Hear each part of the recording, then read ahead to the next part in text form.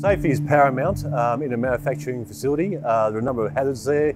Uh, we have automated machinery, we have presses that know, uh, press coins that know 1,250 uh, tonnes of pressure. So know, uh, fingers, arms, hands, etc. Regardless you know, um, whether you're uh, working within an office space or you're working on the production floor, there are different hazards within all, all areas. And if a worker's injured, we take that quite seriously because it affects us all. I would say one of the, one of the major ones, which is commonplace, is uh, manual handling. And we're constantly addressing those with um, engineering controls and also education and, um, and fitness type um, uh, classes no, for, for workers that are in that uh, particular field. In some areas there you have ear protection uh, or hearing protection, um, eye protection, safety boots, high vis.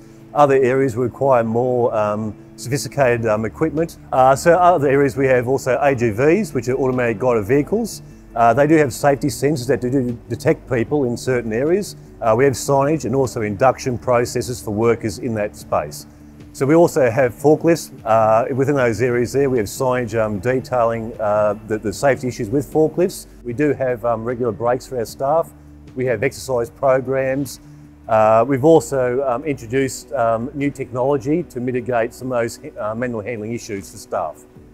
Uh, but also it's education and training. With regards to, to work health safety, it's continually improvement. Uh, we always have to look at other ways of doing things better, uh, efficiently and, and, and more safely. Um, and that's, that's ongoing. We, you know, with any organisation, you have to keep on uh, looking ahead and set the bar higher for, for, for both um, your workers and your organisation. October is National Safe Work Month. Visit the website to see how you can get involved. Safety is everyone's business and your knowledge and experiences are worth sharing.